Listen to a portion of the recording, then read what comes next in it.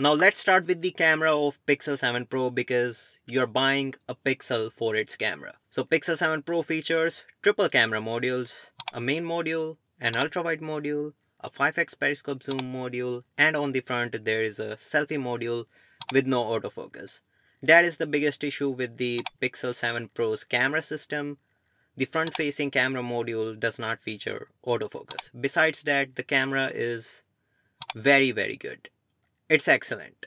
Now Pixel 7 Pro recently got a new camera update that includes DCI-P3 color space and Ultra HDR processing. Now here's what Google Pixel says about these new features.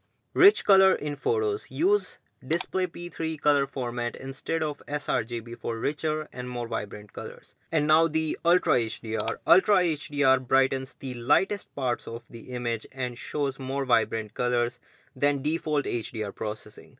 Now photos from Pixel 7 Pro after the update are very pixel-like photos.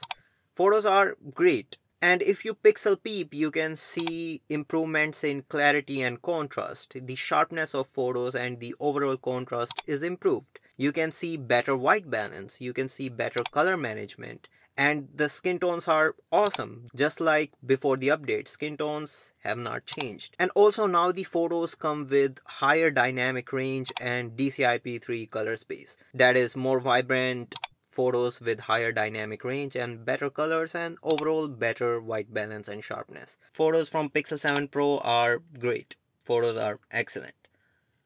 Now moving on to the display. So Pixel 7 Pro features a 6.7 Quad HD Plus 120Hz LTPO Super AMOLED Samsung flagship display.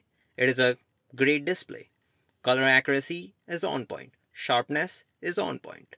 And this display can go up to 1000 nits of max brightness and 1500 nits of peak brightness. The display is very very good. But right now Pixel 8 features a better display than Pixel 7 Pro as it can go to 1000 nits of max brightness. Now moving on to the performance and battery life. Now Pixel 7 Pro features Tensor G2 processor and it is not super powerful processor like Snapdragon Gen 1 on the S23 Ultra or the A16 Pro chip on the iPhone 15. And the battery life on Pixel 7 Pro is also fine. It is good, it's not great.